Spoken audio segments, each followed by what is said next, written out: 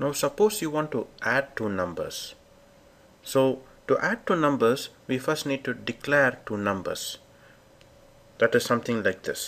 So here we have declared two numbers like say integer x equal to 10 and integer y equal to 20. This x and y are called variables. Variables can hold some data. Now this integer is called the data type. That is, this integer x can hold any whole number. So your next question may be like, what if I want to hold a decimal number? What if I want to hold like a, a character or a string or something like that, like a text?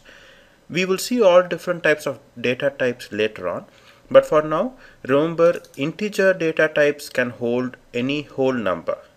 And then we can say something like integer c equal to x plus y.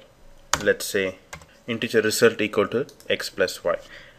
And then we can print result. Now to print result, once again it is system.out.println. Now there is a shortcut to write system.out.println. You can say type sy so and keep the control key pressed and press the space bar like this and then you can say result now you can save this program and run it right click run as java application and you will see that the hello world is printed and the result of 30 is printed you can also say result equal to within double quotes and then plus result. So what this will do is it will print out, save it and run it.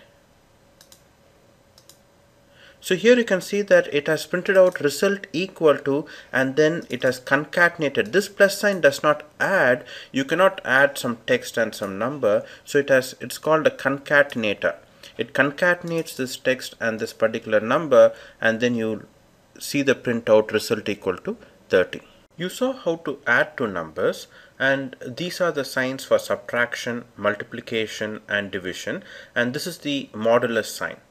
The modulus sign is used to find the remainder.